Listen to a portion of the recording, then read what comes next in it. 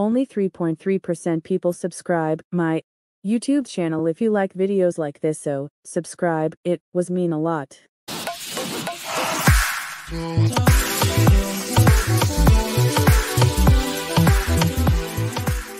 Recent photos of BTS's J-Hope are garnering much attention as it shows the global idol looking healthy and well after his enlistment. J-Hope's photo was released on April 25 through the camp's 36th Division home webpage and quickly spread through social media. In the photo, the idol made a finger heart while looking handsome in his military uniform. J-Hope garnered attention as he was wearing a beret and smiling brightly as always. He was also seen with the name tag with his given name Jung Hoseok. The photos are quickly gaining the attention of fans and netizens alike as they are glad to see J-Hope looking healthy. Netizens and fans commented, he looks so good in the uniform, stay healthy Hoseok.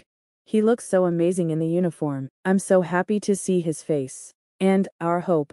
Meanwhile, J-Hope joined the 36th Army Recruit Training Center located in Wonju, Gangwon-do, on April 18th.